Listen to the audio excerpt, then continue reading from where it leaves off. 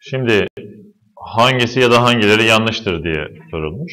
Üçgenin iç açılar toplamı 180 derecedir. Doğru. İç açılar toplamı 180 derece. Dış açılar toplamı 360 derecedir. Bu da doğru. Bütün üçgenlerin dış açılar toplamı 360 derece. Şöyle demiş, üçgenin iki iç açısının toplamı bu açıların bulunduğu köşelerden birisinin dış açısına eşit. Yani şunu demek istiyor.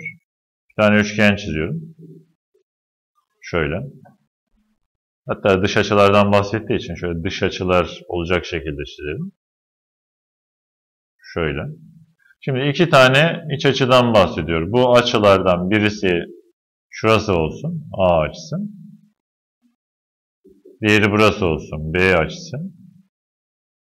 Şurası B açısı. Şöyle diyor. İki iç açısının toplamı yani A ile B'nin toplamı A artı B. Bu açıların bulunduğu köşelerden birisinin.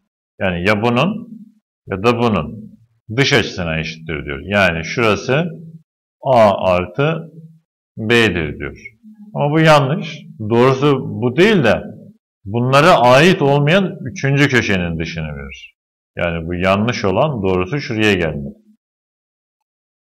Yani üçüncü köşenin, iki tane iç açının toplamı üçüncü köşenin. Yani bunlara komşu olmayan dış açıya eşit olacak. Bu yanlış. Devam edelim. Çeşit kenar üçgenin tüm iç açılarının ölçüleri farklıdır.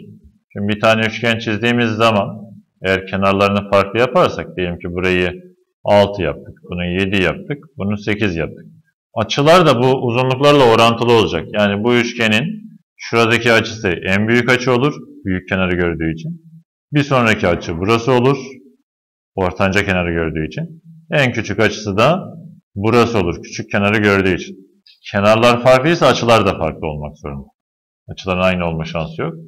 Bu da doğru. Çeşitkenar üçgenin tüm iç açılarının ölçüleri farklı olacak.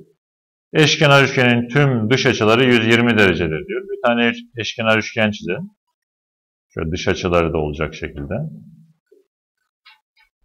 Eşkenar üçgen olduğuna göre iç açıları 60'ar derece olmalı. Şöyle 60, 60, 60. Tabii içerideki açı 60 ise dışarısı 120. Bunun da dışı 120. Şurası da 120. Eşkenar üçgenin tüm dış açıları 120 derecedir diyor. Bu da doğru. Yanlış olan sadece 3 olacak.